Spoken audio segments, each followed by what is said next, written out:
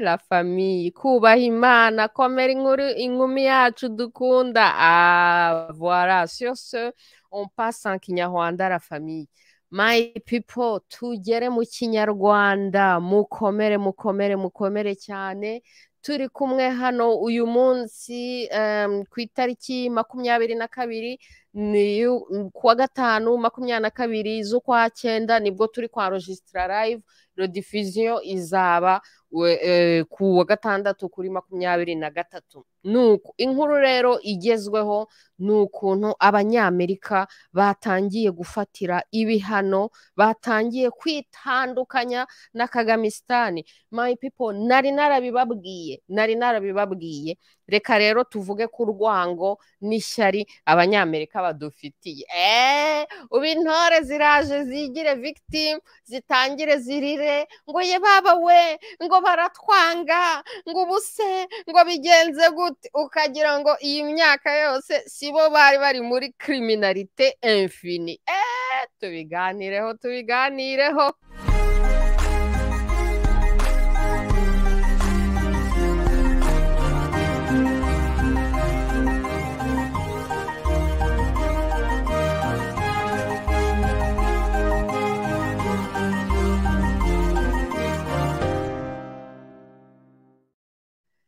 My people. Nuko rero tugiye kubona tubona amerika iti batangiye kwishwitura. Amerika itangiye kwishwitura kagamisitani amerika niyo yafashije kagamisitani kugera ku butegetsi. Bya bindi wa mugore ejo bundi wa mugore uherutse kuvuga ibintu by'imbwa n'inka yavuze ngo abantu bicajwe ku butegetsi n'abazungu. Abantu bicajwe ku butegetsi n'abazungu ni kagamisitani kagamisitani yagejejwe ku butegetsi n'abanyamerika n'abongereza n'aba bapredateri kuri levo ya interinasiyonari aba bapredateri rero kuri levo ya interinasiyonari kubera induru kubera kampanye kubera ibyaha bitabarika kagamisitani yakoze urumva bashoboraga gufasha kagamisitani yagera ku butegetsi yakwitwara neza bakamaraho igihe kirekire bagakomeza bakabafasha ariko ikibazo ni uko kagamisitani barayifashije noneho yo ikora kiriminarite ndengakamere bya bintu mbega byagombye gutera isoni uwayifashije wese. Kubera ukuntu kagamisitani yitwaye nka kiringi mashini abayifashije bose bizabatera isoni. Noneho bagende bayishwitura bayishyira muri puberi bagende bayihakana bavuga bati ye baba we ntibizanamenyekane ko twigeze gufasha bariya bantu. Urumva se? Abanyamerika rero ni kuri etape bagezeho. Bageze kuri etape bavuga bati ye baba we reka dutangire tubishwiture tubishwiture tubishwiture hato batazamenya ko ari twebwe twabafashije. Hato batazagenda bavumbura ukuntu twafatanyije ukuntu twafatanyije ukuntu twafatanyije. Rero my people nubwo bwose twaba tubizi ko amerika ariyo yafashije kagamisitani kugera aho igeze ariko kuva amerika ihinduye politike igashaka kuyishwitura kandi ari byo twari tumaze iminsi tuyisaba murabizi ko kampanye ya boyikoti muzi igihe yatangiye. Muzi abantu bose tumaze gushwana nabo kubera boyikoti baravuga ngo twe turi muri boyikoti boyikoti made in rwanda boyikoti visit rwanda. Abantu bakatubwira ngo bo bagiye muri bizinesi rwanda ngo bo bagiye mu biki. Tuti twebwe turi muri boyikoti murabizi kampanye ya boyikoti murabizi ukuntu twasabye n'abandi abaswa. Ese mwaza muri kampanye ya boyikoti ese mwasaba sankishoni batireka da twebwe ntitwasaba sankishoni ntitwaza muri boyikoti ariko mayi pipo kampani ya boyikoti kampani ya sankishonizi narayibabwiye hashize iminsi nyibabwira. Urumva se on top of make noise rero buriya hari n'ibindi bintu hari izindi akisiyo ziba zikorwa muri bucece kugira ngo icyo cyifuzo cyacu cya boyikoti na sankishoni kizageraho kijye muri politike kigere mu bikorwa. Purisi tuvuga boyikoti purisi tuvuga sankishoni bikagera n'aho ngaho no mu bapolitishani bafite ubwo bubasha bwo gufata ayo madesiziyo noneho bakatwumva kuko inaha muri amerika no muri canada ni na byo nabwiraga bariya baswa turi muri amerika turi muri canada. Ntitwakoresha muwaye dufite hano muri amerika no muri canada gushyiraho iyo puresha ngo sankishonizi na boyikoti zibeho. My people. Murabibona neza rero ko nubwo bwose bamwe na bamwe batwamaganye muri boycott muri kampani ya boycott murabibona neza nubwo bwose bamwe na bamwe banze kudufasha muri kampani ya boycott ariko kampani ya boycott irakomeje. Bigeze hehe rero? Bigeze aho amerika itangiye buhoro buhoro kwishwitura kagamisitani kugira ngo bazavuge bati ntago turimo. Ikindi kandi indi mpamvu amerika itangiye kwishwitura kagamisitani hejuru y'uko nyine abantu bamekinze noyizi hejuru y'uko abantu hanze aha ngaha bari so active puresha puresha puresha ni uko muri congo nabo bagize ubuyobozi ubuyobozi buhindura disikuru ubuyobozi nabwo buri redi yo gukorabora n'abanyamerika. Noneho rero ku buryo abanyamerika bataba bakeneye kagamisitani kugira ngo bagere kuri congo. Abanyamerika bashobora kudisikita direkitoma na congo aho kugira ngo bace kuri kagamisitani kubera iki? Kubera ko kuva na kera na kare abanyamerika si ubundi ntibari basanzwe badiringa na congo direkitoma muribuka ko mu mbuto yari umukozi w'abanyamerika. Kuva na kera na kare abanyamerika bari basanzwe badiringa na congo direkitoma ukuntu baje kudiringa n'u rwanda ngo u rwanda rube interimediyeri hagati y'u rwanda na congo ni ibintu bishya cyane kandi ni ibintu bishobora guhinduka. Rero ibyo bintu kagamisitani yakoze bwo kubakira relationship yayo na amerika n'izindi super puissance kuri iyo relationship yo kugira ngo bajye bajya kwica abandi banyafurika gusahura noneho bajye gucuruza muri bampatse ibihugu iyo relationship is coming to an end my people. Birarangiye birarangiye. Rero my people ndabasaba ngo mukomeze mukomeze muvugirize induru kiringi mashini ahashoboka hose. Abapolitisiye bose muziranye nabo mubohereze mubohereze mesaje abari muri canada bari muri amerika murabizi neza sisiteme y'inaha ukuntu ikora. Ushobora kuvugana n'umudepite abadepite bacu turavugana abapolitishiyani bacu turavugana. My people muteking advantage y'ibi bintu biri hagati y'abademokarati n'abarepublican noneho mugende mubwire abademokarati muti mwebwe mwafashije criminal dictatorship kugera ku butegetsi. Ni iki muri gukora kugira ngo muyikureho? Mugende mubwire abarepublican muti tuzabashyigikira nimudufasha gukwirika criminal dictatorship. Muri politike kugira ngo umuntu agire alliance ugenda ufite ibyo usaba ibyawe usaba uvuga uti ngewe nk'iyi gahunda yanjye murabinkorera cyangwa ntimubinkorera nimubinkorera nanjye ndabasapotinga nimutabinkorera nanjye simbasapotinga nk'ibi ngibi twabwiraga nyine abapolitisiye bari hanze aha ngaha bari muri politike nyarwanda tuti twebwe turashaka boycott twebwe turashaka sanction. Muradufasha muri boycott muradufasha muri sanction? No. Niba mutadufashije out. Natwe ntacyo tubafashamo. Nuko nuko rero my people. Reka rero mbereka akandi kavidewo ka perezida wa congo arimo nanone ashimira ashimira avuga nyine ku byabaye new york ku kuntu nyine amerika yafatiye ibyemezo u rwanda. Ngaho namwe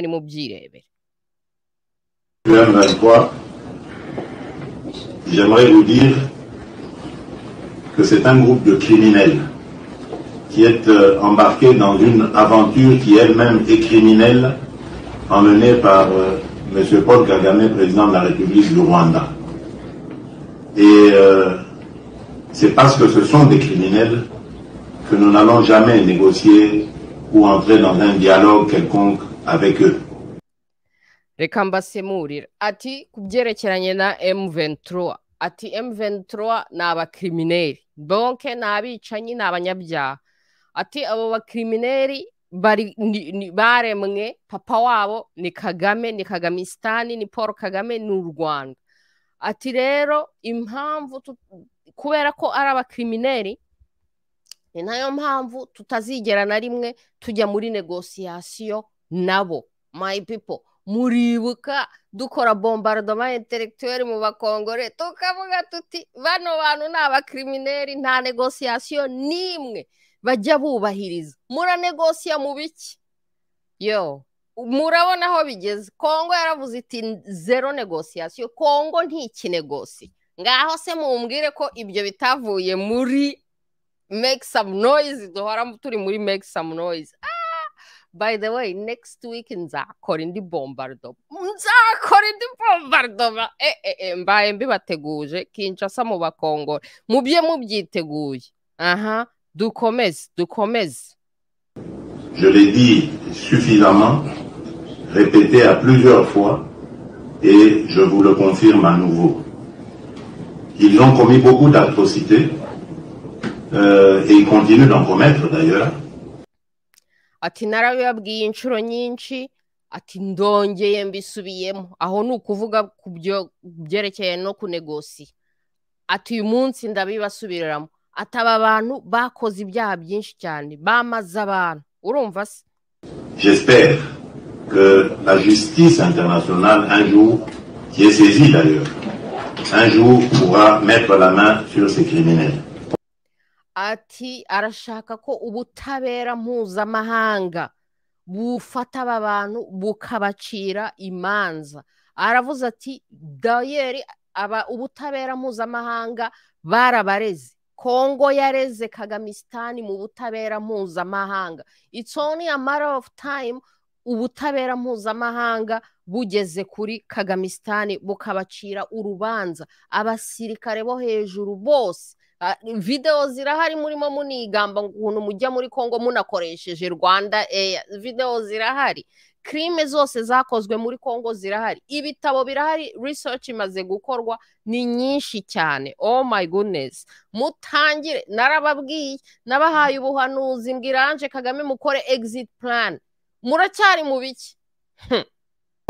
Je me réjouis d'ailleurs et vous remercie de d'avoir posé cette question parce que ça me, ça me permet de pouvoir euh, ici, encore une fois, féliciter les États-Unis d'Amérique qui viennent de prendre une sanction de taille, d'importance, contre le Rwanda en mettant fin à la coopération militaire avec ati felicitasiyo ku banyamerika bamaze gutera intambwe bafashe icyemezo cyo kugabanya kooperasiyo militeri n'u rwanda. Ngaho namwe nimumbwire abantu batabyishimiye ko amerika igeze kuri iyo etape mwishimira iki ese mwibwira ko ibintu bishobora guhinduka? Bumu mwinyuza ibintu bigenda etape par etape. Ariko the fact yuko amerika igeze n'aha ngaha. Ye baba we oya ndababwiye ngo babahe babahe babahe. Ngende umuntu wishimira na santimetero imwe duteye imbere. Duteye imbere meme na santimetero imwe. Ngemba nabisereburetinze urumva se. Parce que le Rwanda,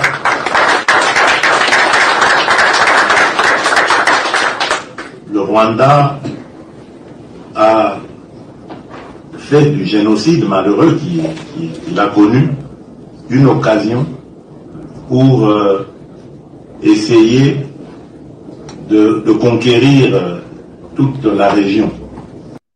ati u rwanda kagamisitani yakoresheje jenoside yabaye mu rwanda ishaka kuyihindura igikoresho yitwaza kugira ngo ifate akarere kose. Jenoside yabaye mu rwanda irababaje ariko u rwanda rwashatse kuyikoresha nk'igikoresho cyo kugira ngo bifatire akarere kose. Avec euh, des ambitions hégémoniques de la part de son leader, qui a, qui a- qui a écrasé tout sur son passage dans l'unique but de piller les ressources euh, des, des pays comme la République démocratique du Congo. ati umu- umuyobozi w'i rwanda afite inzozi arashaka gufata akarere kose arashaka gufata kongo yose afurika yose ambisiyo hegemonike donc ambisiyo nk'izi z'abakolonizateri arashaka kwifatira ati rero aho igisirikare cye cyose cyaciye bararimbuye bamaze abantu kandi icyabagenzaga gusa ni ugusahura gusahura muri kongo. Euh, Aujourd'hui, nous disons, ça suffit.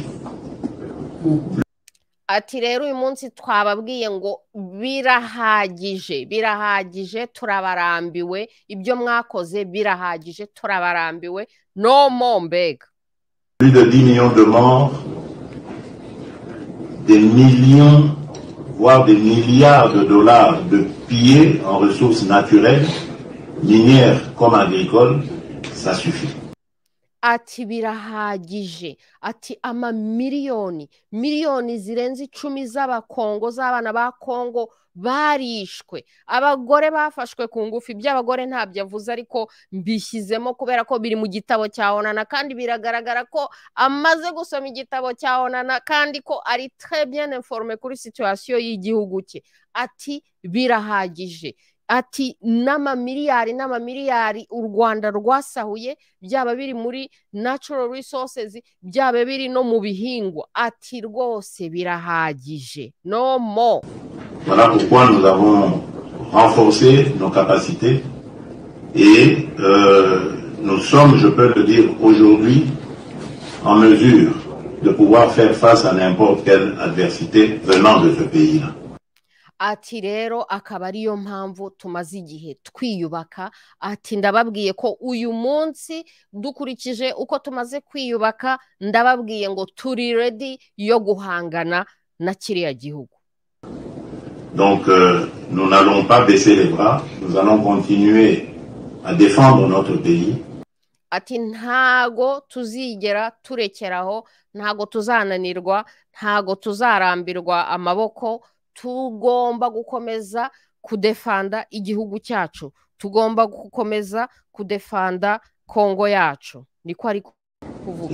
je n'exclus aucun scénario pour euh, défendre ce pays et avoir la paix véritable dans, en République démocratique du Congo. Alors il y avait un autre volet à votre aha ako rero ka- karangiye ka finari niko avuze ati je n'exclus aucun moyen. Bivuga ngo nta option n'imwe akuye ku meza. Bivuga ngo nibiba ngombwa.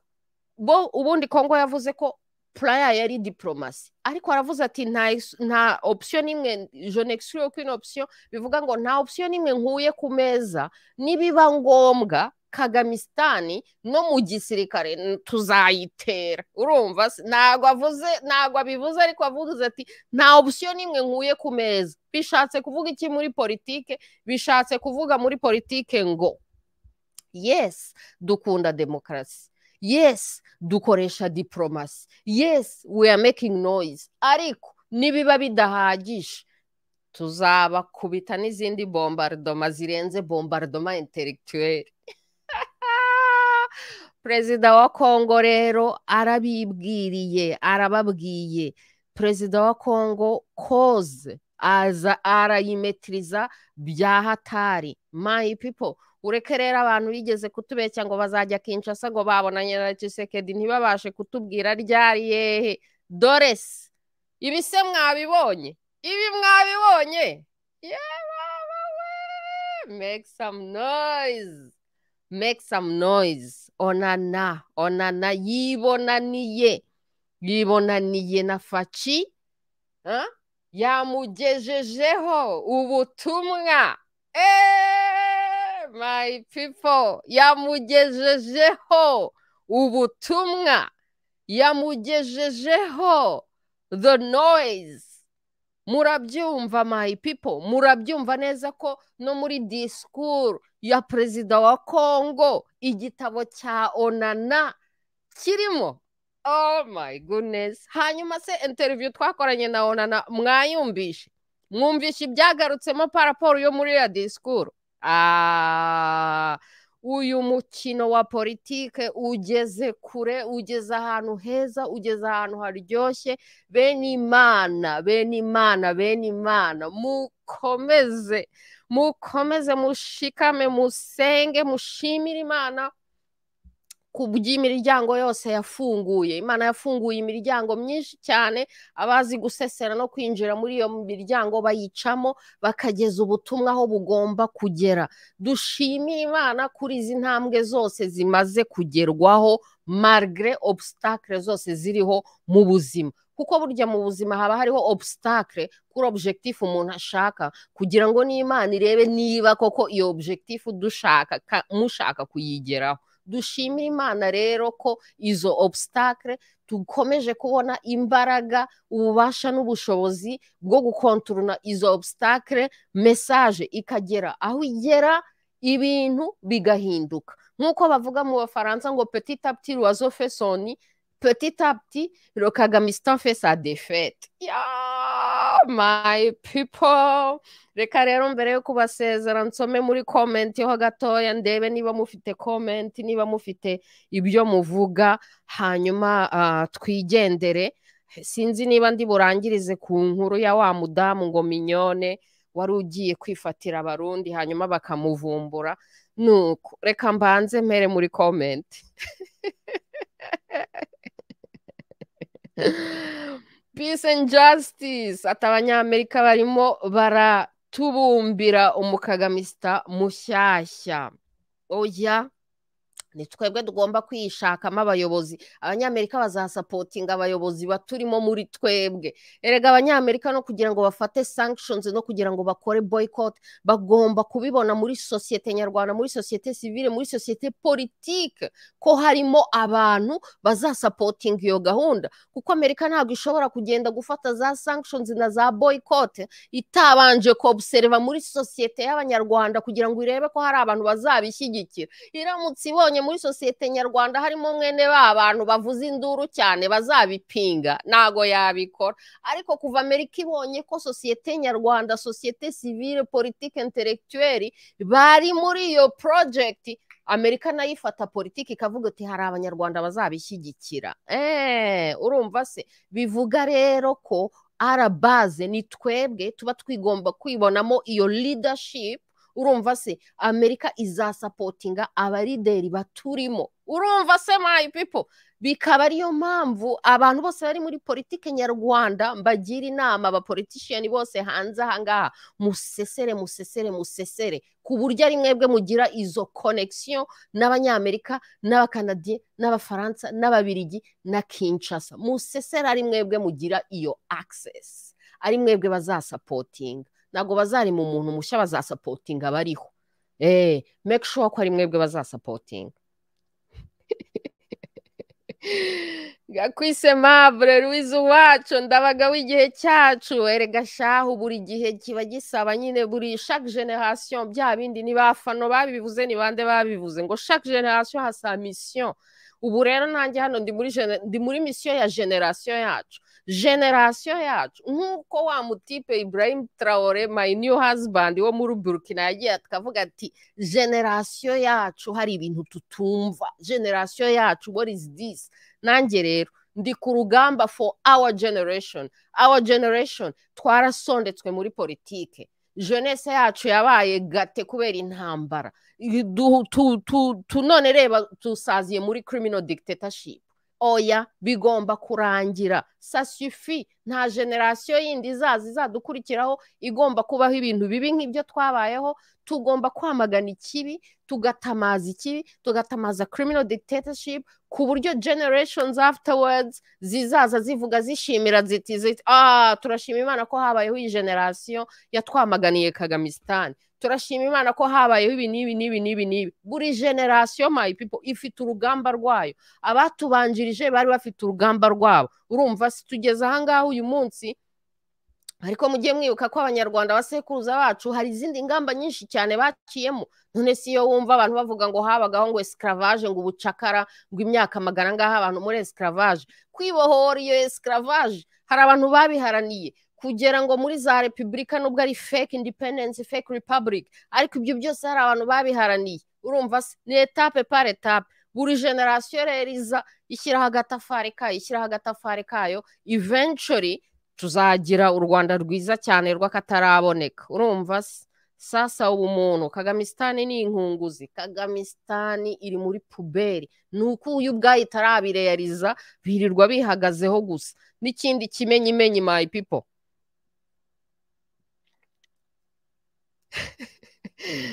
Dore. Ngo ntabwo duteze kohereza undi mwambasaderi mu bubirigi. Kagame yavuze ku bubirigi bwanze karega. Kagame yatangaje ko nta bisobanuro bifatika ububirigi bwigeze buha u rwanda. Ibaze ibaze ariko ibaze. Ibi ni ibimenyetso by'ibihe bya nyuma ya kagamisitani ibaze kohereza ambasaderi bakavuga bati umwambasaderi wawe puberi. Nta na egisipurikasiyo tuguha. Egisipurikasiyo puberi na zo tuguhaye. kagame akagenda mu kinyamakuru cye igihe.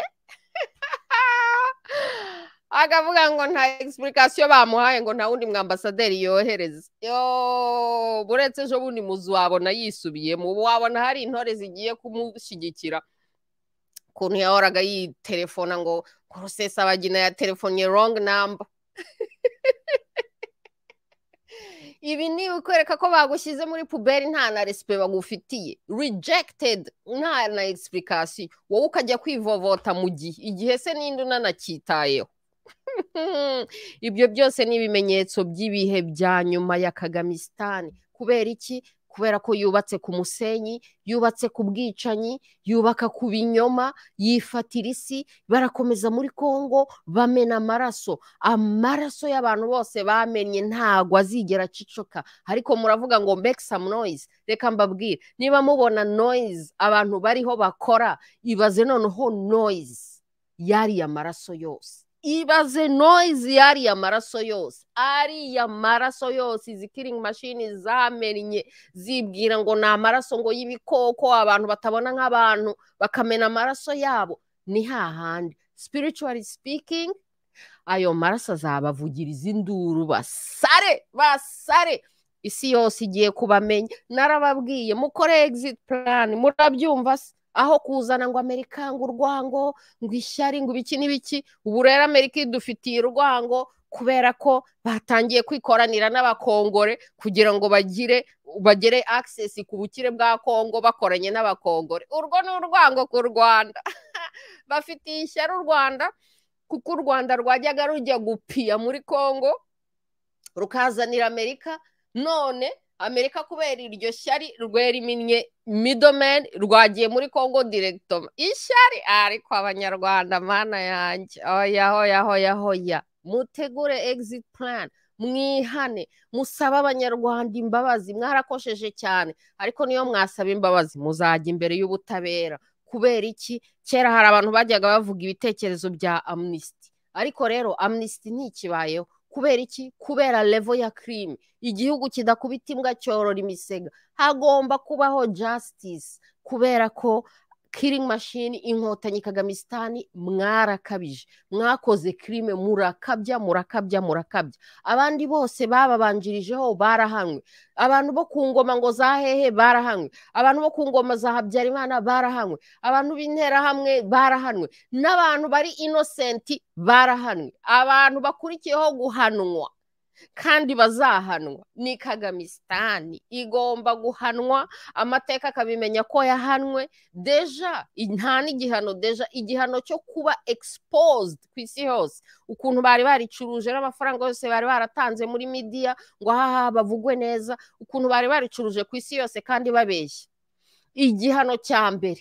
Ni uko bazamenyekana ku isi yose kandi bakamenyekana uko bari na kirime zose bakoze byose byageze hanze. Mayi pipo igitabo cya onana mukomeze mugure igitabo cya onana. Urumva se orokosito kongo mukomeze mukigure mukigeze ahashoboka hose twebwe twavugije induru twakoze mekisamu noyizi kampanye mekisamu noyizi ya hatari iri kugera kure iri kugera kure dore onana ari kumwe na perezida wa kongo ni ukuvuga ngo the noise yagezeyo. Diregiti diregiti murabibona ko ari rifurekitedi muri disikuru perezida wa kongo ari gukora. Ubu nawe mbega yagize iyo arumema kuko igitabo cya onana ibi tuvuga ngo bombardoma interegituweri bo iyo ujya kubombarda uba ukeneye amasasu. Igitabo cya onana ni amasasu ni sharijoma murabibona ukuntu perezida wa kongo yicaye disikuru ari confident ari kuvuga ibintu byayo n'iki byose. Ubu noneho afite sharijoma yitwa kiriya gitabo. Wa mayi pipo bigeze kure cyane bigeze kure cyane. Nuko dukomeze rero komanteri Eric mani iriho my brother komera komera cyane ejo bundi narakuvuze muri show nakoranye n'abajene bo kwa kasitari ndi kubabwira nyine ukuntu nyine byakugendekeye n'ukuntu ubuhamya bwawe buri muri survivors and censored byantushije komera cyane abantu uri intwari uri umugabo my people abantu bose barokotse bakagira noneho n'ubutwari n'ubugabo bwo gutanga ubuhamya kuvuza induru. Eric man ni we wavugije induru wa makinze the noise urangije uranabyandika komera cyane uri umugabo. Imana iguha umugisha ikomeze ikumenye muri byose ikomeze iguhe imbaraga ububasha n'ubushobozi iguhe ibyo ukeneye byose mu buzima bikugereho umugisha udashira uhorane nawe. Orara turi kumwe turi kumwe sasa ubumuntu ati iyi ni foundation ikomeye. Byonyine kwamagana kagamisita hagati muri UN ni intambwe ikomeye cyane n'ibindi byose birakomerezaho. Exactly. Buriya kongo kuba yarabashije kuvuga iti dore duhanganye n'aba M23 duhanganye na M23 kandi ni u Rwanda. Icyo deja ni igitego gikomeye cyane. Kuko aho ngaho ni ho Habyarimana yari yaratsindiwe. Urumva se kuko urabona ko Kagamisitani na Uganda bashaka gukora same plan bakoze yo gufata u Rwanda ngo ari gutyo bafata Kongo urumva se muri ka yabo rero nubwo bwose abasirikare b'inkotanyi bose bakuru igisirikare cyabo bose bari bavuye mu gisirikare cya Uganda kandi bose bafite citizenship ya Uganda Kagame yagiye kwiga muri Amerika ari umugande. Ariko u Rwanda Habyarimana ntabwo yabashije kuvuga ati twatewe na Uganda. Urumva se? Iyo abasha kuvuga ati twatewe na Uganda byari kuba ari ibindi bindi. Yavuze ni abanyarwanda. Oke biba bifu iri guha abanyarwanda n'abanyarwanda. Ibyo rero ayo mayeri ntago muri Kongo byabashije kubaho. Urumva se? Biriya byo kuvuga ngo kongore tutsi kongore banyamurenge tusara. Sanapa marshe iyo trike ntiyabashije kumara kume M23 yabaye exposed iba exposed nka force criminelle genocideri killing machine kandi formate par Kagamistani u Rwanda noneho Kongo ibasha no guhagarara kubwira isi yose ti dore ni u Rwanda ntago ari ngo M23 ntago ari ngo abanyamurenge ntago ngo ari abatutsi bo muri Kongo no ni u Rwanda irabadenonsa none bigeze no muri UN ni ibintu bikomeye cyane ni ibintu bikomeye cyane kandi fait la victoire. Kandi iyo umuntu yihagazeho n'abandi baramudefanda. Iyo kongo rero baza kuba nk'abo kwa Habyarimana.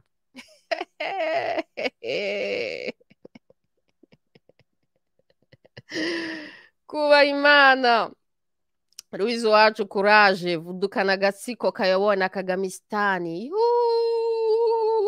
induru ku isi yose ye baba we kabisa kabisa tuzabavugiriza induru isi yose bamenye isi yose bamenye u rwanda rubohoka abanyarwanda babeho bisanzuye sinumva impamvu abanyarwanda ari bo bantu baremewe kubaho bayobewe nk'inka bafatwa nk'imbwa oya ibyo bintu tugomba kubyamagana turi abantu. Abanyarwanda bahinduwe inka barakubitwa bagashorerwa bagakurikira gusa hanyuma ubundi bakirirwa babira gusa nta kindi. Babira ngo eee inkotanyi ni ubuzima. Ubuzima bw'ubukene ubuzima bw'ubutindi ubuzima umuntu atotezwa nta burenganzira agira ubuzima nyabaki.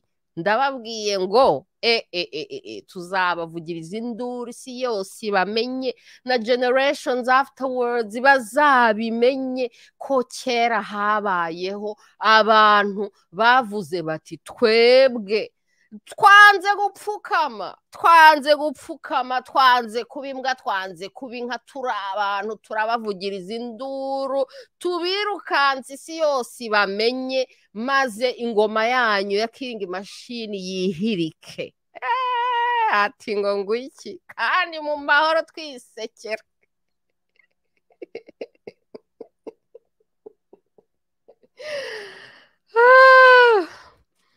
sabrina kwizera komera mukobwa wacu ndagukunda wubahwe komera komera cyane. Titi goromine ukomeze ukomeze ukomeze. Sabrina kwizera ati gusa inkotanyi zigiye muzaze dutahe twese twubake u rwanda twifuza kandi dukundane. Nta by'abahutu cyangwa abatutsi tubumwe. Ariko si ubu koko hari umunyarwanda uzongera kuyobera mu bintu bita ngo iby'abahutu n'abatutsi? Impossible. Ntibishoboka kuko twarabyiboneye. Ahubwo icyo ni cyo kintu nanashimiraho anko kaga. Umva ko ntajya mushima. Reka mushime yabera reka mushime. Niba hari ikintu nshimira anko kaga ni uko kamemu hari ukuntu hari ukuntu mbega ari iko opportunity oppressor. Urumva se? Mwene wa mwopresa ntushobora kumuzanaho ibintu ngo ndi umututsi ngo hanyuma ngo wibwire ngo ko we ngo atazakopuresinga hari ukuntu kamemu kagame akanda abantu kandi agakanda abantu bose ku buryo abantu bagenda biranda konte ko it's not about abahutu n'abatutsi. Urumva se? Ufite umuyobozi mubi. Yaba ari umututsi yaba ari umuhutu. Umuyobozi mubi ni umuyobozi mubi.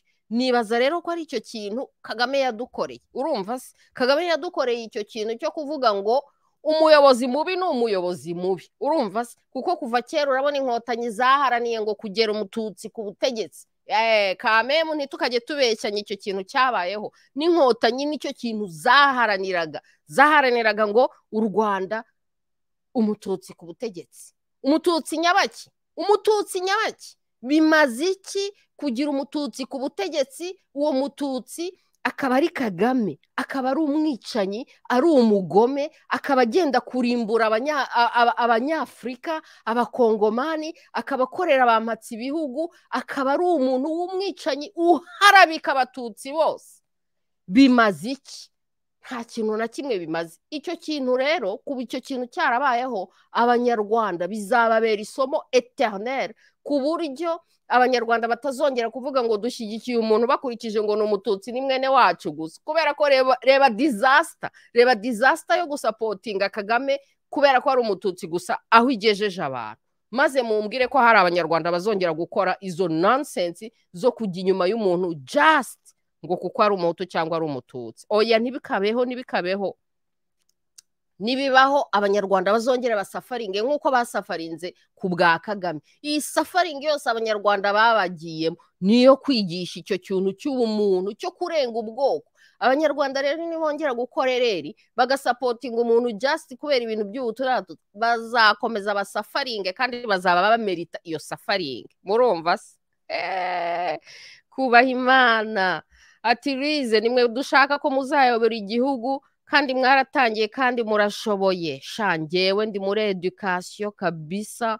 Burya muri edukasiyo na yo ni ridashipu kuko nabonye ikibazo kuri ngewe umwanzi w'u rwanda umwanzi w'abanyarwanda ni ubujiji ni ubukene. Fokasi muri edukasiyo fokasi muri entrepreneurship. Urumva abantu bagize edukasiyo bakajya muri entrepreneurship bakibeshaho. Nta nubwo twagira ingoma z'igihugu z'igitugu. Kuko ingoma z'igitugu zizanwa n'iki? Zizanwa n'abantu b'imbwa n'inka bari muri sosiyete ntacyo bamaze urumva se? Bakubirikira gusa ari imbwa ari inka gusa. Ariko se abantu bari eduke abantu bazi entrepreneurship bazi kwirwanaho wibwira se ko wapfa kubabera umudikiteta bikakwemerera? Ntabwo wapfa kubabera umudikiteta bikakwemerera. Iyo niyo etape nk'ay'abanyakenya bagezeho. Urabona se abanyakenya bageze kuri stage weya ntago ushobora gupfa kuvuga ngo uri umudikitateri muri kenya ngo byemere. Barakugurukana.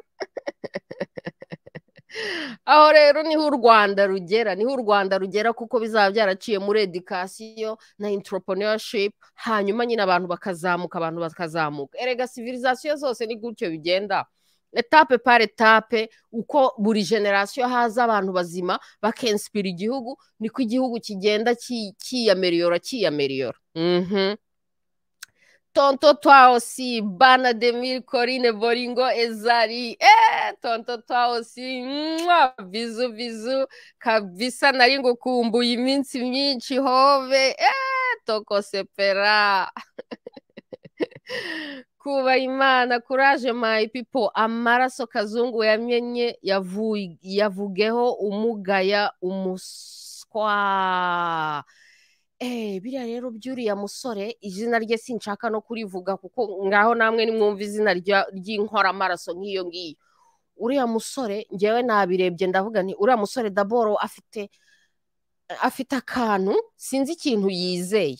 Urumva biragaragara ko ari muri mafiya biragaragara ko ari muri mafiya kandi ko hari konegiti kandi abanyarwanda ingoma ya kagamisitani bakunda abicanyi bakunda abicanyi bakoresha abicanyi noneho barangiza abicanyi bakanabababarira bakanabaha n'ibihano bitoya cyane cyane iyo babwiye umwicanyi ngo niyemere ibyaha ntimubizi se? N'abajenosideri biriya birirwa barimanganya ngo abajenosideri barabababariye. Abajenosideri bababariye nk'uko bari baremfiritiye interahamwe bagashyiramo abajenosideri babo. Tubizi gute ko n'abajenosideri bababariye atari ba bajenosideri bari barohereje gufatanya n'abandi bajenosideri kumara abantu? Akaba yenda ari bo bajenosideri bababariye. Urumva se? Rero turi ku ngoma ikunda abicanyi ikoresha abicanyi kandi hejuru ya bariya bapeti y'abicanyi uriya mugabo se ngo ni gaki? Urabona arusha kagame ko umusiriyo kira? Ni umusiriyo kira? Ariko hejuru ye dufite umuperezida w'umusiriyo kira. Ku buryo uriya ni peti juweri peti juweri bigaragara neza ko uriya peti juweri rero ari umupeti juweri wakoreshwaga n'abandi bantu bo hejuru. Urumva se? N'ukuntu avuga n'amakonfidensi afite ni umupeti juweri ufite abandi bantu bo hejuru bamukoreshaga. Sinzi n'ukuntu byagenze ngo afatwe. Urumva se? Rero ntabwo byantangaza adahanwe nyaguhanwa. Urumva se?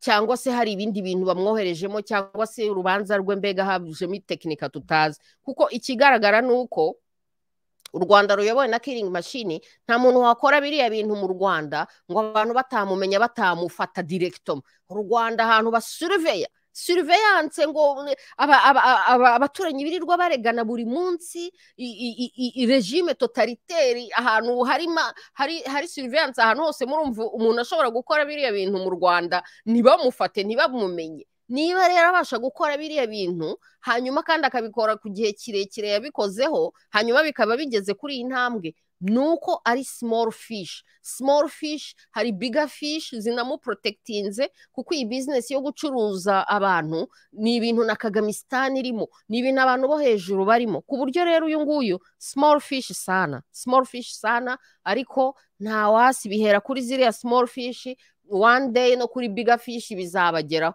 Buriya kagamisitani ihirimye n'ibindi twabimenya buriya yatubwira n'ababosi be akatubwira n'abandi bakoraborateri be kuko ntago yakoraga wenyine kandi afite abandi bantu bamuri hejuru bakora encore pire. Urumva se?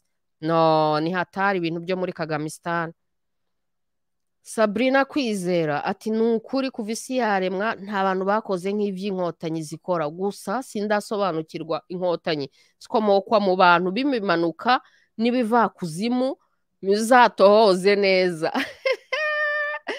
Eba nerega ni cyo gitabo igitabo cyanjye cya gatatu? Ni igitabo kiri kuri spirituality. Ni igitabo rero cyagusobanurira kizasobanurira abantu ukuntu umuntu azamuka akava mu bunyamaswa akagera mu bumana bwe. Bivuga ngo umuntu abantu batigeze barerwa mu bumuntu ariko nibaza ko inkotanyi zarezwe. Ntabwo ari ikibazo cy'ukuntu zaremwe. Ni ukuntu zarezwe. Bya bindi bavuga mu kinyarwanda ngo uburere buruta ubuvuke. Ushobora kuremwa imana yaremye abantu bose ibaha kapasite zo kuba abantu beza. Urumva. Ariko izo kapasite zo kuba abantu beza ni ibintu umuntu agomba kwihingamo. Ni nk'uko imana irema isi igashyiraho ubutaka ubutaka bwiza bwera. Ariko kugira ngo ubwo butaka bwiza buzere buguhe imbuto yakubeshaho ubwo butaka ugomba kubuhinga. Urumva se? Rero n'abantu n'abantu nabo ni ubutaka buhingwa bugasarurwamo. Urumva se? Abantu rero niba barakoze barakuze mu bukene no mu butindi anko kaga ajya atwibwirira ukuntu yakuriye mu bukene no mu butindi. Nakuriya kuntu yanga abahinzi. Yarabyitwibwiriye ntiyatubwiye se ukuntu se yari umusongarere wari wanze no guhinga hanyuma nyina akajya guhinga. Ashobora no kuba yanga abahinzi kubera izo mpamvu. Urumva se? Rero ni ibintu byo mu burere. Ni ibintu by'uburere. Abantu bakuriye mu butindi. Ntibagize edukasiyo y'ubumuntu. Bakuriye mu bukene bakuze bafite umujinya bafite abantu bishyizemo aho kugira ngo barebe na situwasiyo barimo bagakura bumva hari abandi ni bariya bahutu baratwirukanye abahutu baraduhemukiye tugomba kubishyura. Ibyo bintu bikabamunga mu mutwe noneho bagakura bafite gahunda ya rivenji yo kwica ibyo kintu cyo kuvuga ngo ubumuntu kitabarimo. Niho rero ubona abantu bitwara kinyamaswa kandi ubundi imana yari yarabaremye ari abantu ariko kubera ko ubumuntu bitigeze bubahingwamo ngo noneho ngo busarurwemo ni iki cyabahinzwemo? Ni uwo mujinya n'ayo mateka n'ubwo bukene n'ubutindi n'inzara umusaruro ni uwuhe? Umusaruro ni uwo nguwo. Bitubera isomo. Niyo mpamvu uvuga ngo bitubera isomo. Ubundi iyo baza no kuba n'abantu bazima nyuma yo kugera ku butegetsi kubera bakurikije amateka yabo nta wundi munyarwanda bari gucisha mu bibazo nk'ibyo baciyemo. Ariko aho kugira ngo berimine icyo kibazo barebe n'ibibazo byaciyemo umutima mubi byabahaye. Noneho bavuge bati noneho twebwe tugiye kujya muri gahunda yo gusana imitima gusana imitima byarabananiye. Akazi ko gusana imitima karabananiye kuko umutima wabo ku bwabo ntabwo bigeze bawusana. Urumva umutima wabo uracyakomeretse guhera muri fifuti nayini nimujya mubyibonera se nibahora babitwibwirira. Nk'uriya marinka disikora aherutse kuvuga ntubona mantarite rero aho ni ho hari ikibazo. Bivuga ngo nibo ubwabo batabashije kwihingamo ubwo bumuntu ariko imana yaremye abantu bose bafite izo kapasite generation afterwards rero niyo mpamvu ari so important ko abantu bahingwamo ubumuntu ko banabwirwa n'izo principe z'ubumuntu. Naho ubundi generation after generation tuzajya tugira abantu bameze nk'inkotanyi bakibaho mu bunyamaswa. Urumva se? Kuko batigeze bihingamo ubwo bumuntu. Ni ibintu bishobora gukosorwa. Ariko bisaba ubushake bisaba n'iyo gahunda bisaba no kubimenya nyine. Urumva se? Tonto twahosi ati nzatanga ubuhamya bwanjye mu mpera z'umwaka igitabo cyuzuye. Ye baba we ati murahishyuwe bana demi corine tonto twahosi kabisa. Urakaza neza urakaza neza. Murabizi neza ko gahunda yanjye ari ugusapotinga abanditsi guporomotinga ibitabo. Ebana kabisa igitabo cyose nsomye nkagikunda ngomba kugiporomotinga icyo nsomye singikunde ndicecekera. Ndicecekera. Ubu hari abantu banyereza ibitabo byose nkabisoma nkicecekera. Kubera iki? Kubera ko nzi neza ko kwandika ari akazi gakomeye cyane. Urumva se? Niba nsomye igitabo singikunde separa peni yo kujya kugisenya hariya hanze. Urumva se? Abandi bazakisoma yenda bakikundira urumva se? Ariko ngewe gusa prinsipe yanjye hano ni uguporomotinga ibyo nakunze. Gusa ibyo ntakunze simbivuge.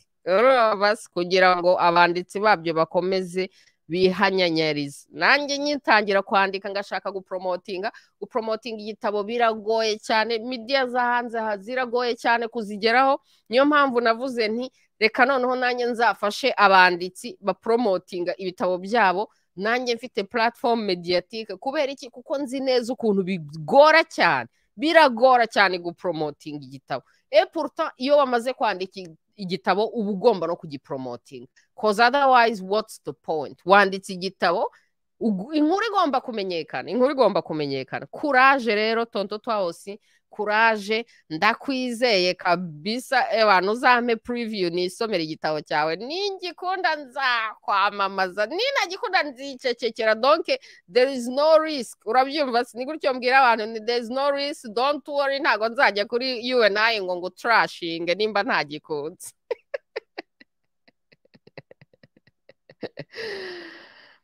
premium vivere deinde filosofare. Kongo yaragitsinze yaramaganye diporomatikamo yavugije induru aparama zirimo zumvikana. Aha!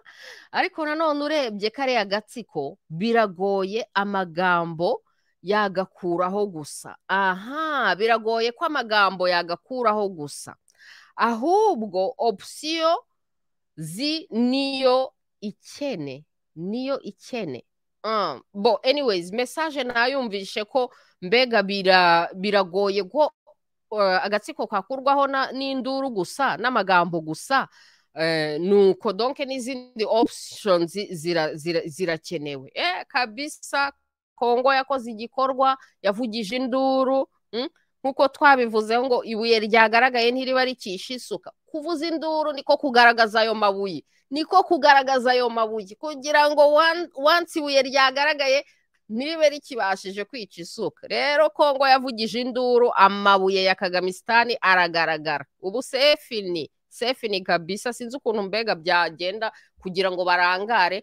Kagamisitani ya, luzinze momentum. Urabona hariho ikintu bita momentum sinzi ukuntu nagisobanura mu kinyarwanda. Ariko shaho iyo momentum ikugezeho ubu uri nyine hayi nyine ni wowe uba ugezweho iyo momentum wayiruzinze biba byarangiye. Ubu rero kagamisitani yaruzinze momentum momentum igeze kinshasa. Mhm. Kubaha imana kagamisitani ni ukumufata umurizo ntaho azacikira aho yagahungiye yarahoneye kunywa mu mateke. Binyibukije jeje gari kandi gasana ujya uvuga ngo akamasa. Akamasa kazazimara kazivukamo solisiyo akamasa ni ukukazirika premium vivere deinde filozofare ati naho kiringi mashini ntiyumva induru. Ganzi noise. Nubwo bazakubita ibipfukamiro hasi ubundi bagatura tukagabana. Niyo mpamvu rero na perezida wa kongo yavuze ngo toutes les options ngo inexclure aucune option wumvishe se? Bivuga ngo nawe arabizi neza ko yes bagomba gukoresha diplomasi yes tugomba kuvuza induru. Ariko inexclure aucune option. Kubera iki? Kubera ko nyine hari mwene b'abana nyine nimubizi serega habaho abana bananiranye hari abana iwabo babwira bakumva hari n'abandi bana iwabo bagomba guca inkoni bakabadiha kugira ngo bumve. Kagamisitani rero ashobora kuba muri abo bana iwabo bagomba guca inkoni bakamudiha kugira ngo yumve. Rero niba ashaka ko abantu bazaca inkoni bakamudiha kugira ngo yumve kandi iyo ashoboraga kumva bataramudiha kazi yako nyine bazamudiha de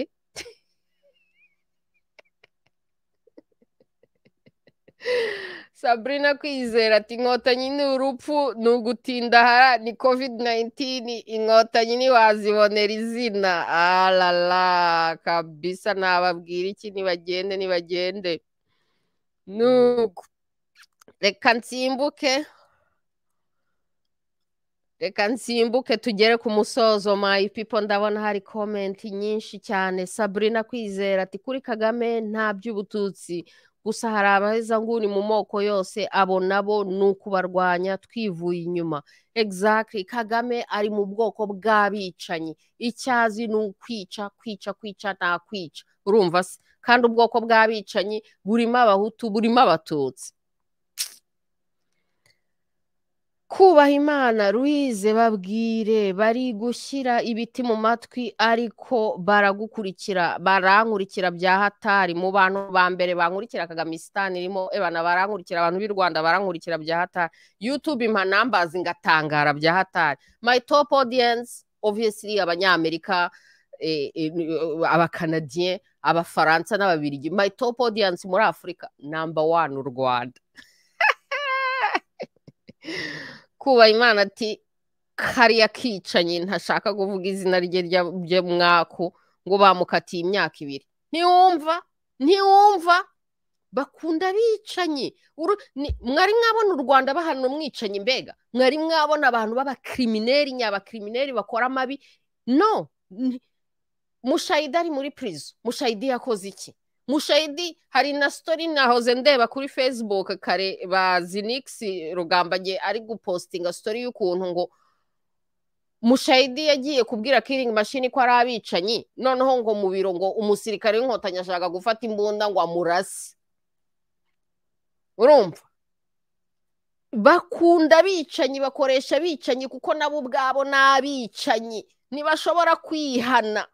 Ariko reba abantu bazima abanyarwanda b'imfura nibo bica nibo bahoza muri purizo ubu se bakarasira bakarasira bari muri purizo bamara iki? Ba cyuma. Reba reba ibishitani bakoze cyuma. Ubu koko cyuma yakoze ikihe cyaha muri kiriya gihugu? Ariko ndebera umwicanyi wagiye no ku mugaragaro wafashwe yishe abantu yafashe abantu ku ngufu akagenda no ku mugaragaro afite amakonfidensi nta n'ikibazo ubona nta n'ubwo afite nta kantu na kamwe. Baramugize. Uwishe rwigara ngo yarahungabanye. Ari hehe? Ntago bintangaje na gato. Ntago bintangaje na gato ni byo nababwiraga. Nti ngewe uriya mutipe naramwobservye n'iyi dosiye narayikurikiranye. Ndavuga ni uyu ni kiringi mashini muri kiringi mashini bazamugira gutya ngo ah feki cyane kagamisitani feki ariko nta wasi ibi ngibi burya iyo habayeho injustice hakabaho crime ntuyihane. Uba ukoze indi injustice. Mbega uba urimo wongera ibyaha ku byaha. Mubareke rero bakomeze biyongerera ibyaha. Karma yabo shawe. Buriya rero bongo murabona karma ya bongo ukuntu byarangiye bongo yicaye arimo kuvuga ngo make some noise. Ibya kagamisitani ntabwo bizagenda kuriya. Kuko byibuze bongo we yabonye n'igihe cyo kuvuga ngo make some noise. Kubera ko byibuze we ntabwo yari yarabayeho yica bene gihugu nk'uko kagamisitani yica bene gihugu urumva se? Niyo mpamvu yabonye n'igihe cyo kwicara kuri nuza akavuga ngo make some noise. Ariko kagamisitani ukuntu yabayeho yica abantu. Ibyo bizaba birenze ibya kadafi reba ibishitani bakoze kadafi kandi nawe yari yarafashe abaribiyani neza. Noneho umbwira ibintu abanyarwanda bazakora kagamisitani n'ibishitani abahozamo. Sabrina kwizera ati kazungu ubwira umucamanza wapira kari mu ntoki zawe nikagucika ni akazi kawe. Ngo agapira kari mu ntoki zawe nikagucika ni akazi kawe. Ni umukozi wa rwahama mubyara wa kagame bambwiye ngo ni n'umwana we ahubwo se ngo ntiyamwadopse. Ibaze gucuruza ingingo z'abantu yaje mu rukiko aseka nta ngorane n'imwe yifitiye. Iriya ni bizinesi ya kagamisitani uyu ni sinzi n'ukuntu byagenze ngo afatwe. Byagenze gute se ahubwo ngo afatwe? Tonto twawose ati you and I talk show igitabo cyanjye uzagikunda. Aha. I took time and learn how to write. I'll get in touch with you too. Eh eh eh tonto twawose kabisa ndabyizeye. Ndabyizeye ndabyizeye. Thank you. Ati um ati my motto was Sharon Nana uh-huh Eugenia Cheng. Uh-huh I'll get in touch kabisa no kabisa. Undi munyarwanda nabonye vrema yageze kuri igitabo cye cyageze kuri level ya onana onana esque ni uyu mujene w'umunyarwanda wanditse igitabo la guerre mondiale la guerre mondiale africaine. Uh, kabisa ni hatari kiriya gitabo na cyo kiri kuri level kuraje kuraje uh, tonto tawusi turagitegereje roha twagira mu ngo ariko se bagenzi muragira ngo bamuhane? Bate? Ko yisha abahutu se ni abatutsi ese mama harimo n'ako ngako? Hari abanyarwanda ntikabura. Ariko abanyarwanda dore rero ni aho ngaho abanyarwanda bibeshyira abo nabo ni abana b'imana. Erega imana ntabwo ireba ibyo ngibyo abantu bishyizemo ngo abahutu ngo abatutsi. Noneho ubuzima bw'umuntu mukabuhindura na zeru. Kuko kuri mwebwe ngo ari umuhutu ngo ari ibiki n'ibiki n'ibiki ubuzima bwe bugahinduka zeru nagira ngo mbabwire ngo imana ntibera imana iradukunda twese. Uwo mwica mwamukuyemo ubumuntu bwe mwimbwira ngo ni nothing ngo ni umuhutu ku mana ntabwo ari nothing. Kandi ku mana muzabyishyura. Rero ni ahangaha iyi erera abanyarwanda bakunda kuyikora. Bazabyishyura ni hahandi roha twagira mu ngo ati mutekereze neza abavandimwe mucane ku maso kabisa. Ha. Antuka my people turangirize rero kuri iyi nkuru na yo yakamejeje ya hatari ya hatari ya hatari yari yakamejeje ariyo ariyo bita ngo ariyo nkuru ya wa mupasiteri kazi. Niko inkuru y'uyu mupasiteri kazi reka mbereka abarundi sha nabo ntibakina. Nuko ibi bintu rero umupasiteri kazi ngo yari agiye kugenda kwigisha i burundi ngo nuko ngo hanyuma abarundi ku munota wa nyuma baramubwira bati nta masengesho yawe dukeneye.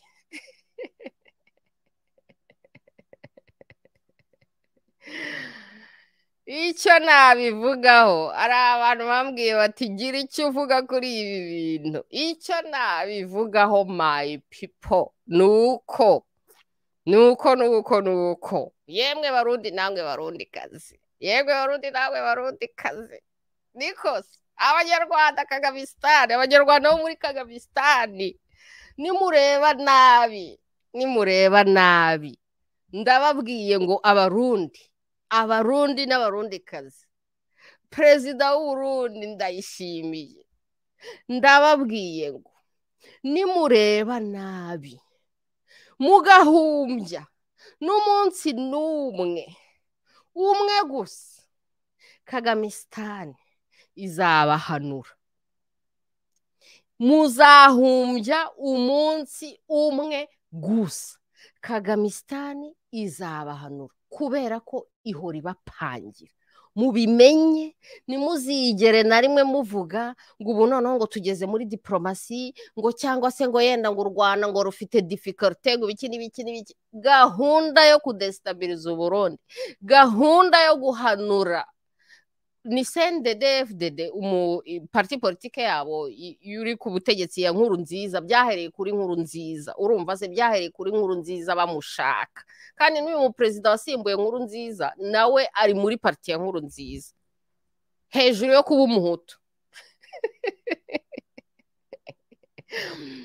Ni nka bya bindi baca umugari mu kirundi ngo ubyinana na mukeba ngo ntago ahumbya ntago ahumuriza na gato. Abarundi rero mubimenye. Mubimenye bibinjire mu mutwe ntibizigere na rimwe bibava mu mutwe. Kagamisitani irabafite kuri gahunda. Ibishoboye. Izagerageza. Nta na rimwe izarekeraho kugerageza kubahirika. Ntibizigera bibaho kwirekeraho. Urumva se? Mugomba kumenya ko mutagomba guhumiriza na rimwe. Bazakoresha muwaye zose n'amayeri yose ashoboka kugira ngo babahirike. Ntimugomba guhumiriza na rimwe. Na rimwe. Na rimwe ariko. Ntibishoboka. Nimuhumiriza na rimwe. Ibyanyu bizaba birangiye. Urumva se? Kagamisitani irashaka uburundi irashaka kongo kubera ko perezida w'uburundi babona atari kontre kongo kugira ngo bagere no kuri kongo baramutse bahereye i burundi bagahanura i burundi daboro byaborohereza na kongo nk'ukuntu mbega babigenje mu rwanda. Urabona ko bashakaga kongo bagahanura perezida w'uburundi bagahanura na perezida w'u rwanda. Urumva se? Mujye mwibuka ko kagamisitani itatinye kwica perezida w'uburundi rero ntago yatinya n'uyu uriho ntacyo uyu nguyu ariho ababwiye kuruta abavuyeho. Bivuga ngo uburundi ntibugomba guhumiriza na gato. U rwanda kagamisitani bazakoresha muwaye zose zishoboka. Ngaya amasengesho ngaba abacuranzi ngaba abagore abarundi mbibabwiye mu kirimi twese twumva ndababwiye ngo nimuhumiriza one day. Bizaba bibarangiranye. Ariko rero reka mbibarize ikibazo. Ari na cyo kibazo mperutse kubaza abakongore. Ni iyihe mpamvu ko mubizi ko kagamisitani bashaka ishaka kubica ishaka kubahanura ishaka kudesitabiriza igihugu cyanyu ishaka gufata igihugu cyanyu? Ni iyihe mpamvu muhora mwicaye mutegereje ko baza kubafata. Esike mwebwe bizageraho one day muvuge muti ariko twebwe nta mukino twabakina.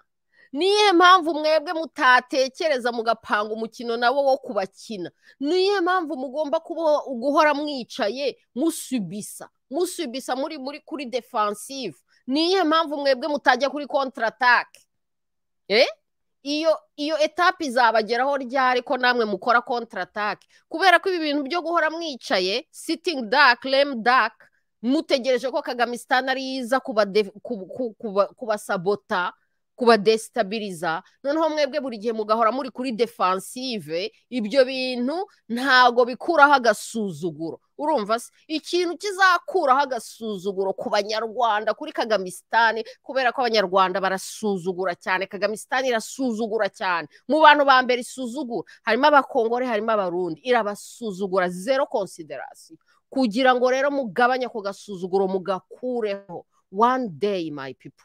Mugomba namwe gutekereza umukino mwakina. Urumva se hanyuma ibyo kubohora mwicaye mutegereje ko baba bataka mwidefanda mwijusitifiya bikarangira. That's the only way yo gukuraho agasuzuguro. Naho ubundi agasuzuguro kazahoraho kazahoraho nimuzigera mugakuraho mwihagarareho. Mwihagarareho mukureho agasuzuguro. Niyo mesaje ngewe nabwira abarundi. Ndi umunyarwandakazi ndi umunyarwandakazi ariko ntago nshyigikiye nansensi z'abanyarwanda. Urumva se? Nk'uko natangiye ikiganiro mbivuga. Ngende muri panafricanism. Ndebe ntere za afurika yose. Urumva se? Sinshobora kwihanganira agahugu kagenda gatiripota ibindi bihugu kadesitabiriza ibindi bihugu kagatuma afurika yose itavansa niyo ako gahugu kaba ari agahugu kanjye bivuga rero ngewe nk'umupanafurikanisiti niba u rwanda rwarigize mayibobo rudesitabiriza ibindi bihugu bya afurika kagamisitani afurika itabasha kwavansa kubera kagamisitani kandi bakorana na ba ibihugu niyo naba ndi umunyarwandakazi. Ngomba guhaguruka nkavugiriza induru kagamisitani nkayamagana. Wayi kuko ndi umupanafurikanisiti kubera ko ndeba afurika above all. Hanyuma kandi hejuru ya afurika hakabaho n'imana. Ndeba imana nkorera imana ngendera ku mana. Imana ikunda ukuri. Imana ikunda ubutabera. Imana ntabwo ikunda ibintu by'agasuzuguro n'abantu b'abicanyi n'abantu b'ababeshyi birirwa bashaka kudesitabiriza ibindi bihugu by'abandi. Ngewe rero nk'umwana w'imana ngomba kwamagana ibintu nk'ibyo ngibyo. Abarundi ni cyo ngicyo nababwira. Urumva se? Agasuzuguro. Nimutica kuri kariya gasuzuguro kagamisitani ntizigere ibubaha na rimwe. Na rimwe.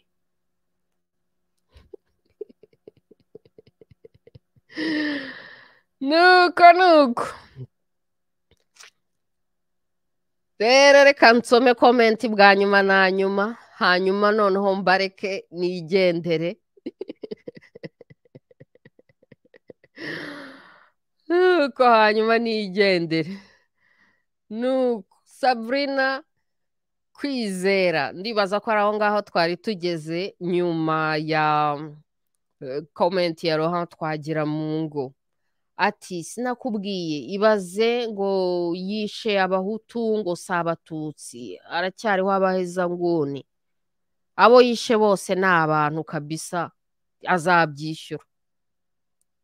Rinda aho bantegeye. Komera komera cyane. Rinda aho bantegeye. Eee mperutse kureba ikiganiro cyawe. Speaking about abarundi. Mperutse kureba ikiganiro cyawe. Urimo uganira n'umurundikazi we. Eee komera cyane. Rinda ndagupepeye. Kuraje kuraje kuraje. Komera komera kandi rwose. Ujye ukomeza utwibwirire ibikuri ku mutima. Urumva kuko iyo byose ni terapi byose ni terapi mba mbona abantu bari kwikorera terapi kabisa komera cyane. Kubaha imana. Ariko si ubwoko bwiza ni ubuhe? Ubwoko bwiza ni abana b'imana. Ubwoko bwiza ni ukuba umwana w'imana. Ukamenya ko abantu bose ari abana b'imana. Abahutu ni abana b'imana abatutsi ni abana b'imana abatwa ni abana b'imana. Ubwoko bwiza ni ukuva mu bunyamaswa ukajya mu bumuntu. Umuntu ni umuntu. Nitutabasha kugera muri ubwo bwoko bwiza tuzabaho mu muriro. Ariko mayipipa ubwoko bwiza ni ubwo. Muzamuke muzamuke mugere mu bumana. Nibwo muzaba mugeze mu bwoko bwiza. Kubera iki? Imana niyo nziza. Nta bwiza buruta imana. Imana niyo nziza niyo sitandadi y'icyiza n'ubwiza. Kuba abana b'imana rero niko kuba ubwoko bwiza. Murabyumva se mayipipa roho twagira mu ngo ati buriya n'agasoni ko kuba baramufashe akajya mu nkiko. Uwo ni ka kicanyi se? Sabrina kwizera ati sinabivuze ngo yishe abahutu nta bwoko yishe yishe abanyarwanda. Twagora mu by'amoko ubuse kizito bahati rwigara. Bukuru twari indani nyamihirwa si abatutsi ku nkotanyi kwica ntibareba ubwoko. Eee kiringi mashinizi kiringi mashinizi kubaha imana. Uwo mugore wiyita pasitoro arabeshya yari agiye gusahura abarundi. Ariko se daboru ngewe sinshobora no kwemera umupasiteri n'umwe muri kagamisitani uza kunyigisha anything. Kubera ko babayeho barigize imbwa barigize inka barigize abantu bakurikira kagamisitani umuperezida w'umukirimineri w'umwicanyi w'inkoramaraso. Ariko aranagenda muri pureyazi muri pureya burekifasiti karabu imbere y'abantu basenga. Akaba ariho yigamba ko yishe karegeya. E my people abantu b'imana abakozi b'imana mu rwanda. Eee hari ijambo claude gatebuke aherutse kuvuga bya bindi bavuga ngo kwitutsura kwihutura kwishitanura. Kwishitanura hariho abantu nabo bahinduye ubwoko bigira shitani bajya mu bwoko bwa shitani barishitanuye bahindutse shitani. Kandi bamwe babeshya ngo bakorera imana ngo ibiki n'ibiki nonsense. Barabeshya barabeshya barabeshya. Nta muntu nta muntu ukozi w'imana w'i rwanda nzapfa nemeye kubera ko bakorera ingoma y'inkoramaraso basingiza inkoramaraso nta mukozi w'imana w'i rwanda n'umwe ujya wamagana kiriminarite ya kagamisitani n'ibishitani byose kagamisitani ikorera abanyarwanda. Ntushobora kumbwira rero ngo i rwanda hari abakozi b'imana. Hanyuma kandi bakabirengaho hejuru y'uko bari muri criminal dictatorship. Ikandamiza abanyarwanda ikenesha abanyarwanda. Abanyarwanda bari mu bujiji no mu butindi. Nta kintu babivugaho nta kintu babikoraho. Yarangiza ngo agiye i burundi kwigisha. Ni nk'iki yakwigisha i burundi? Ni nk'iki yakwigisha i burundi? Abarundi nta nubwo bagira uburyarya ibi bintu by'abahutu n'abatutsi bo barabifesinga mbere na ejo nari mbo ntera burage mvuga ngo ariko se abarundi bishatse kuvuga ko bakunda amacakubiri ko nta gahunda ndi umurundi bagira? Ko bo bakizi ngo abahutu n'abatutsi n'abatwa bakaba babisereburetinga nta kibazo bibateye nta gahunda ndi umurundi bagira? Bishatse se kuvuga ko bagira amacakubiri? Ariko abanyarwanda indyarya bakabeshya ngo ndi umunyarwanda barangiza twibuke abatutsi. Eee dore bariya bicanyi dore abahutu interahamwe eh dore abashigajwe inyuma n'amateka. Nta moko ari hano ndi umunyarwanda gusa. Barangiza ngo abakozi b'imana ngo bagiye kwigisha i burundi. Babigisha iki? Ni iki turusha abarundi twajya kubigisha? Especially muri spirit.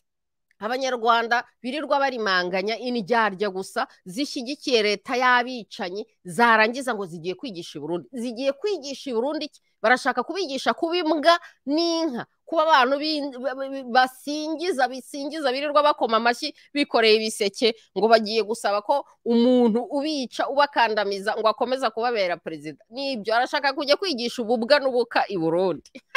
Bamwamagaye ngaya handi komera komera cyane.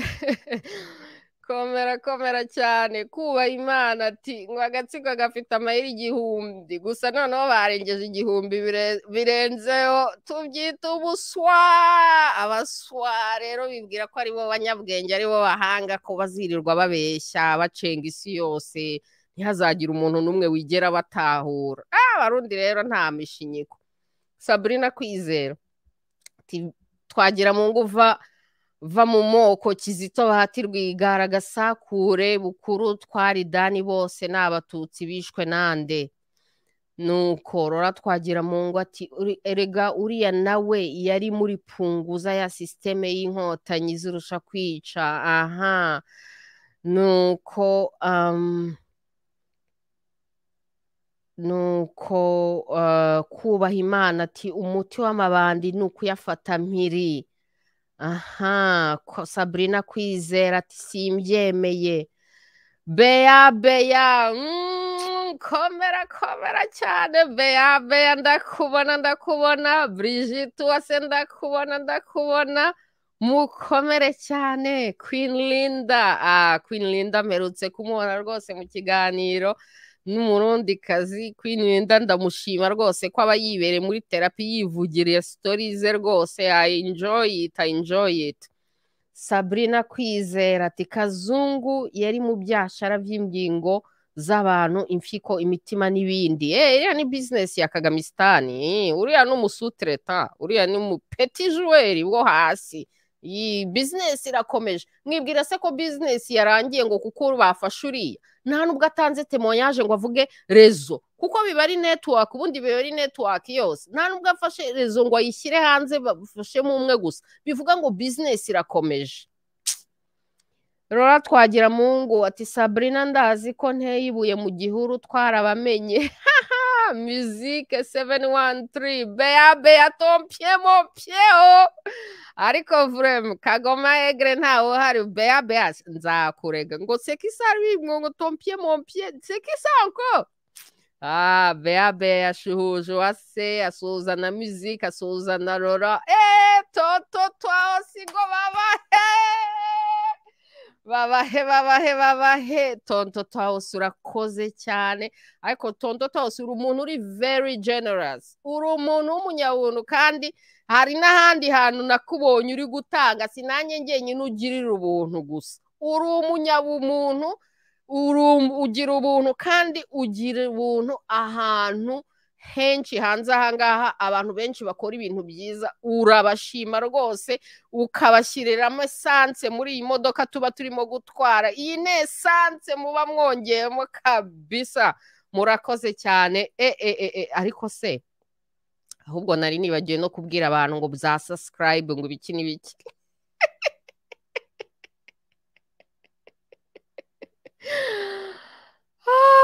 orara toto tose urakoze kunyibutsa no kwibutsa abantu ngo bansapotinge wa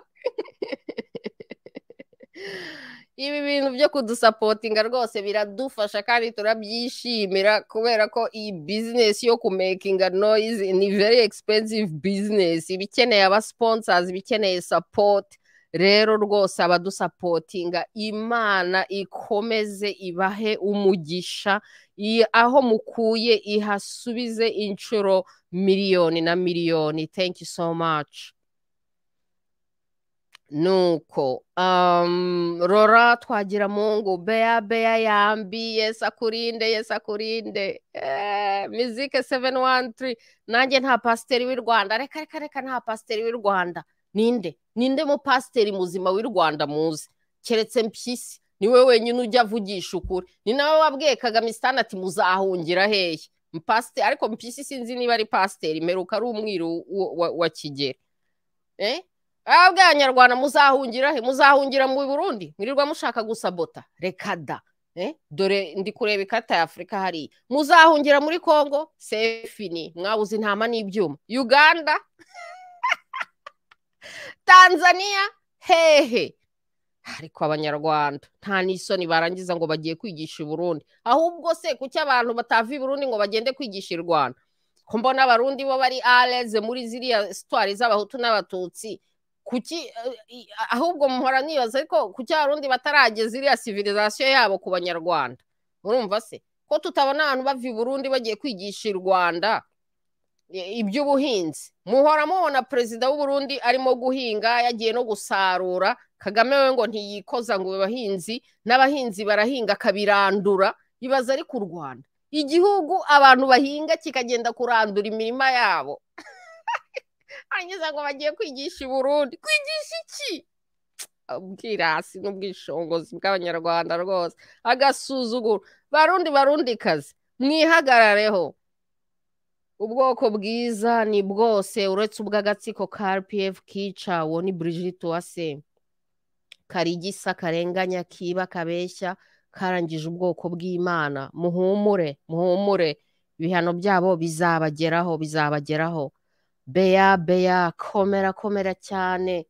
Kuva ziriya mboragasa ntizica kizito nahise nzohereza kwa rusiferi. Pu ziragapfa zitonyagurika. Ndababwiye ngo karma.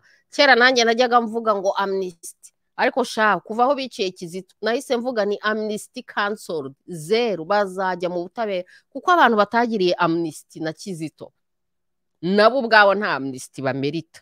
Nta amnisiti bamerita kabisa. Sha my people kuyavuga siko kuyamara turi kumwe turi kumwe buri wikendi murabizi neza murabizi neza. Ati se kuki batasengeye mu rwanda kandi buzuyemo dayimoni? Uwo ni beyabe wasanga nabo ubundi baba bari guhunga amadayimoni yo mu rwanda batireka tujye gusengera i burundi. Abarundi rero bati mugumane ibyanyu ariko ibi ibintu byo gusenga ni danjere ubu uziye abantu bagiye gusenga? Hari abantu hari umuntu wigeze kuvuga ngo bagiye kunsengera turabipfa turanabishwana? Ngo tugiye kugusengera mu nsengera mu nsengera ibiki? Nzi mwebwe daboro muri bantu ki? Ni nka kwa kundi ushobora gutuma umuntu ahantu noneho ahubwo akagutesha isoko aho kugira ngo akugirire neza. Kuko gusenga ni umuntu ukugiriye ku mana. Gusengera umuntu akugiriye ku mana. Ibaze noneho umuntu ukugiriye ku mana uwo muntu ni muntu ki? Ibaze ari nk'umuntu wa feke nka bariya bakozi b'imana b'i rwanda. Akugiriye imbere y'imana adezageje imbere y'imana imana iri kumureba gutya ari feke cyane. Uwo noneho ngo ni we ugiye kugusengera. Amasengesho ya bintu byawe byose byo mu buzima bigapfa. Kubera iki? Wasengewe with the wrong person. Abantu ba feke ngo bari kugusengera. Bariya abantu koko abantu batabasha kuba no kuvuga ku bibazo by'igihugu cyabo. Daboro basengeye kagamisitani ko kagamisitani ariyo leta y'abicanyi yagiye gusahura no kwiba muri congo. Ko kagamisitani ariyo igeze ku muteremuko. Kagamisitani ariyo abongereza n'abanyamerika bari gushyira muri puberi. Barasengera uburundi mu biki? Ntibasengera u rwanda. Basengere kagamisitani ni we uri mu bibazo bikomeye cyane. Simbona amasengesho yabo icyo abarundi bayakeneyeho.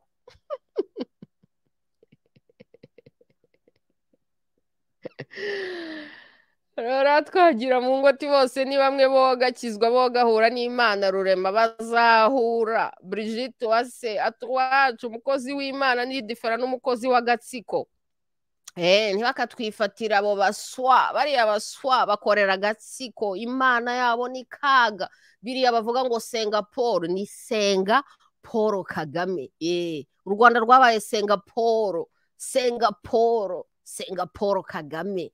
Nta wundi muntu basenga basenga paul kagame. Bivuga ngo abanyarwanda basenga ikigirwamana. Bivuga ngo bubatse ku musenyi. Bivuga ngo nta wundi muntu bagomba kubwira iby'imana. Iyo baza kumenya imana ntago baba babayeho basingiza inkoramaraso. Umuntu uzi imana abantu bazi imana.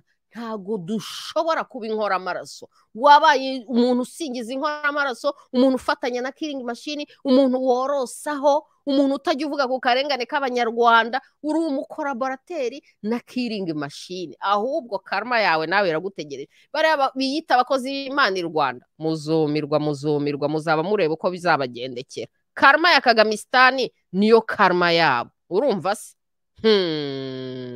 Ye baba we hari komenti nyinshi cyane sinarangiza sha? Tugeze ku musozo mu mbabarire cyane turekera aha ngaha. Kuva muri studio hano hari abandi bantu ngo bagiye kuyikoresha.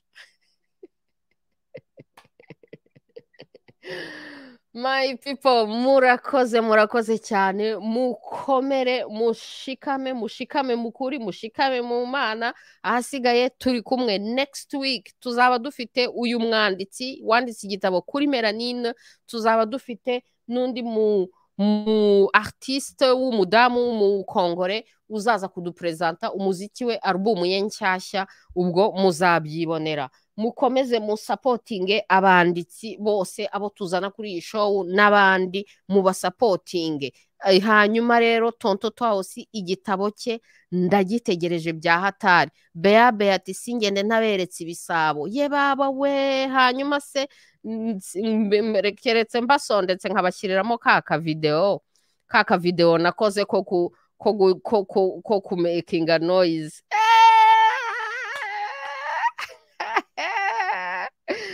nikos wabona nyibasigiyemo mwarayibonye se onana dansi ok reka noneho turangirize kuri onana dansi challenge.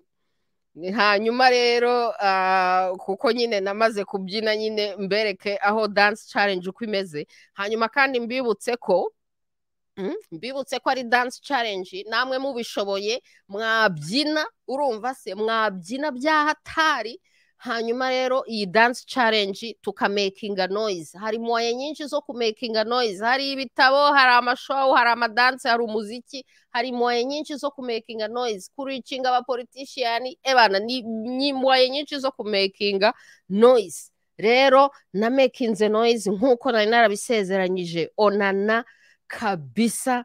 Hanyuma rero uh, reka noneho ari aho ngaho turangiriza.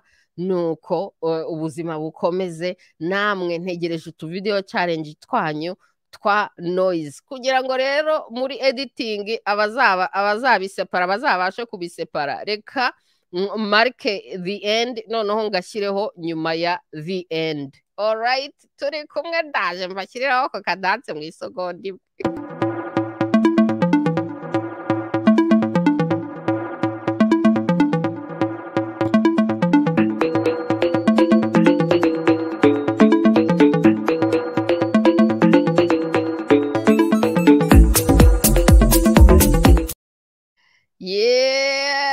My people, dance challenge, yo, dance challenge.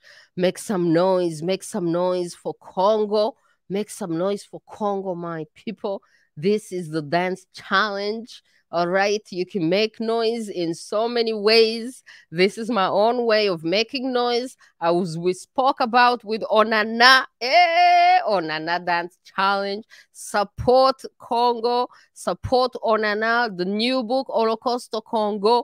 Oh, my people, make some noise, make some noise. Yeah, my people, Onana, Onana, Onana. Onana Dance Challenge. Make some noise for Congo, my people. Make some noise. Use whatever talent that you have to make some noise for Congo, my people. I'm to do a little dance to make some noise for Congo, my people. It is about campaigning for whatever you know is right. All right, my people. Make some noise for Congo.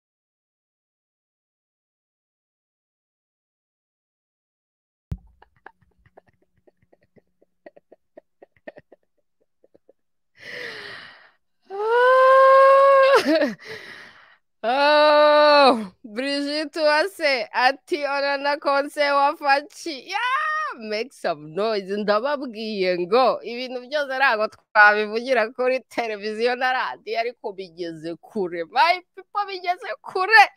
Muramuke muramuke muramuke murota imana eee